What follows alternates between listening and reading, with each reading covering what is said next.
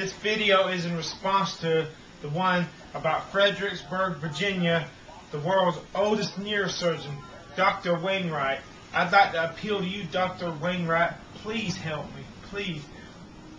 None of these, uh, not one of these other doctors have been able, have even been able to diagnose what is wrong with me, let alone cure me.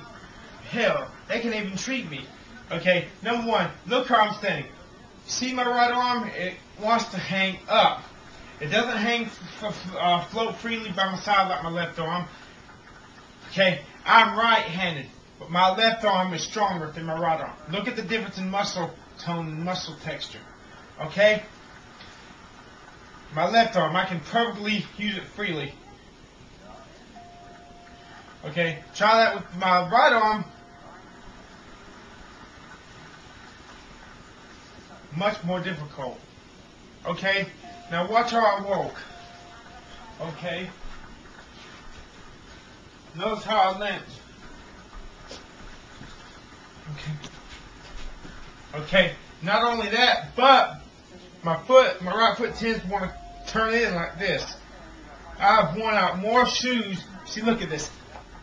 Look at my shoes. My right foot, my left foot. Look how I wore out my right. So I'm doing my right foot is doing something to my right to my shoes. I don't know what. Please help me figure out what is wrong with me. I can give you some. I've had three MRIs. Nothing's wrong with my neck or head. Nothing. Nothing. Nothing. The only clue I can give you is back in 1994, all the way for five years until 1999, when my mom found out. I used to get so mad when I would see myself in the mirror or any reflective object. I would go, "Ugh, ugh," as hard, hit myself as hard as I could. And once in the spring of 1994, I had a slight blurring in my right vision. It went away in like a day and a half or something like that. But mini stroke, I don't know. The MRI said it was, but it was a stroke of some sort. When the MRI picked it up, notice how my speech slurs a little bit. Please help me, Dr. Wainwright. No one else can. I want to be normal again.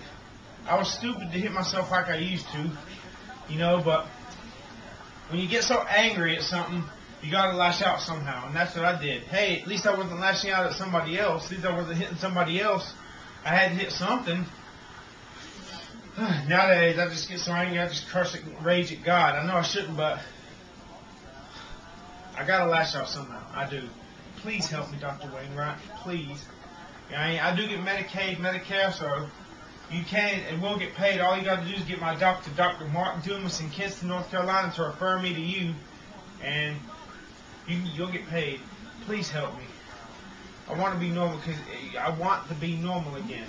I want to have people stop asking me if I got cerebral palsy or if I had a stroke or was I in an accident. Hey, get this. There's a rumor in this town. A rumor that what happened to me was I was running from the cops and I had some acid on me. And so I ingested the acid so I wouldn't get busted with it. I don't know where that rumor came from. It's kind of silly. Kind of funny to me, but no, it's not true. All you got to do is look up the police reports and, and if you can find where someone was running from the cops for suspected drugs, you won't find that. Um, you can ask the cops if they chased me. No, they didn't. They never had to chase me. If the cops want to get me or arrest me, I come to them. Please help me, Dr. Wainwright. Please. I'm begging you. I want to be normal again. The past 15 years of my life have been a waste. Help me, please. Thank you.